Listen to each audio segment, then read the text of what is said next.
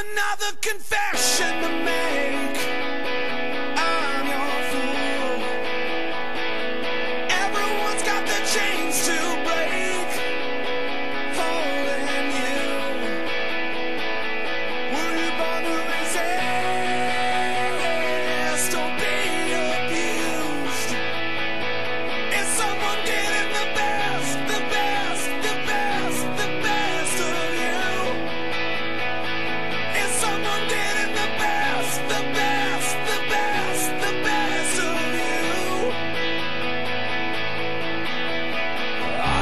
gone and on to someone new.